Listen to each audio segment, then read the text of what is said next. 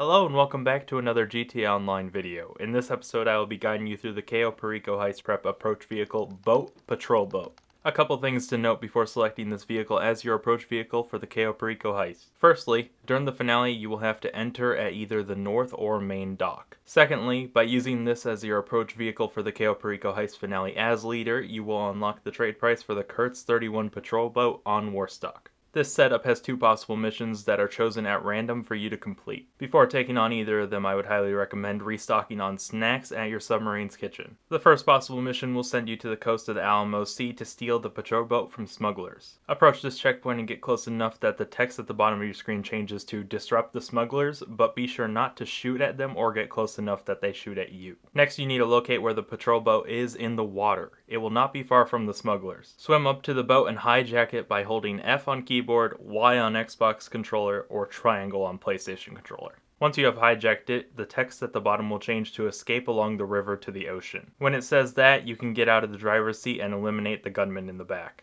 From here, you will be taking a river to the ocean. It does not matter too much which river you select, but I have found the Raton Canyon is faster and offers more cover. Once you near a river, enemy helicopters will start spawning in.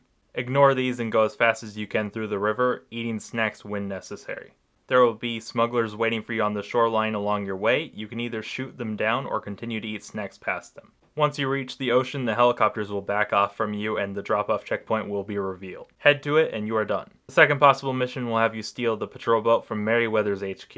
Start by heading to the checkpoint. Before entering the headquarters, grab your armored Kuruma if you have one as it'll make this part much easier. Go inside the headquarters and clear all enemies. If you are in the Kuruma, drive up to them and aim for headshots. If you're on foot, take them one at a time and stay behind cover. After all enemies have been eliminated, go to the security panels and turn them all off. After they are all off, head to the main terminal to open the sluice gate. Be careful as there will be enemies inside this room. Once you open the sluice gate, there are two options. You can either hop into the patrol boat and defeat the helicopters using the mounted guns on it, or call in a buzzard or Mark II oppressor and fight the helicopters in that. Either way works fine. For purposes of saving time, I chose to fight them in the patrol boat. When all helicopters are down, the drop-off checkpoint will be revealed. Head to it and you are done. To unlock the trade price for the Kurtz 31 patrol boat, use it as your approach vehicle during the heist finale and complete it as leader. I also did a full overview of the Kurtz 31 patrol boat. If you guys are interested, I will link it in the description. That is going to wrap up this video. I hope you guys did enjoy, and I will see you all next time. Peace.